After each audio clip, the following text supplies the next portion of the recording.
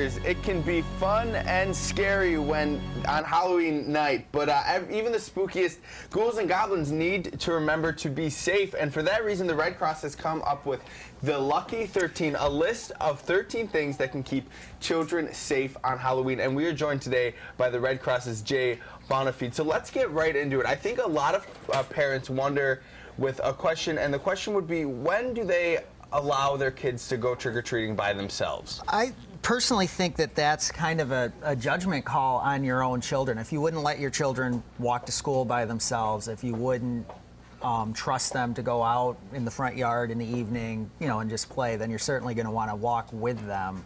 And I would definitely err on the side of caution. I have a six-year-old, and there's no chance that he's going to go out by himself, you know, on Halloween. We're going to definitely walk with him. So I, I don't think there's a hard, you know, age for that, but I would use your judgment on your children. And, and if you send them out, you have to make sure that you you talk to them ahead of time that they have a flashlight that they have you know where they're going so you can check up on them and they're not just kind of randomly walking the streets. And once you make that hard decision the list that you have is going to sort of allow parents to be assured that their child will be safe. So let's get into the list. The first one I thought that we'd pick out is mapping your route. Why is it important to sort of know where your kid's going to be at all times? Well, it's important so that you know where he, he or she is. You know the neighborhood that they're in. Hopefully, you know some of the people that that live in that area and and so you know it's a safe place to be and also you can check up on them you can go back it's been a little longer than you expect, or, or if you're just curious, you can check on them. You know what area they're supposed to be in, and they know what area they're supposed to be in too. And maybe it'd even be smart to like attach a time to it. Say, you know, let's meet at this corner at 8:30. That way, Absolutely. if they're not there, you know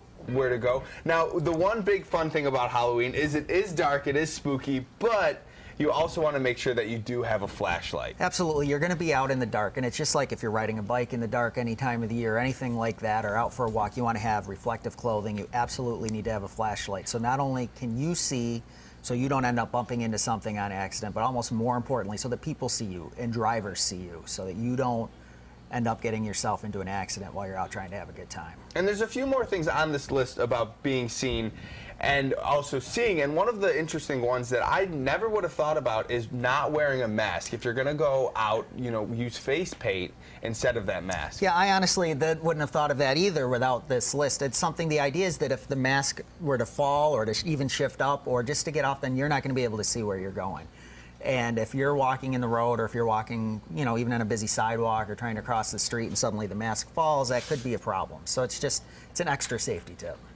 And you know, if trick or treating is a little stressful, maybe there are some parents that want a alternative that they can make sure that their kids will be safe the entire time. You guys have a great event coming up for that. That's right. On Saturday is our seventh annual Safe and Seen Halloween event. It's at ECC's North Campus, and what it is is it's a indoor alternative to trick or treating. So we decorate the halls of ECC North. Um, we have different interactive groups. You can see the picture there. We have people. There's some outside um, interactive activities, and what you do is you not only get the candy and the traditional trick-or-treating by going to the different doors, but you also get safety tips. Um, there's, the, there's interactive events that are safety um, safety based, and, and we also have a blood drive for the adults if they want to do that. We have um, the FBI will be there doing the uh, the child ID program, um, so you can get your kids signed up for uh, for the Safe Child program through that. So it really is it's a great event. So not only is it a great substitute, but it also is a great prep for those kids going out on Halloween. I'd like to thank you Matt, for thank coming you. in. Thank you for having me. No problem. And now we're gonna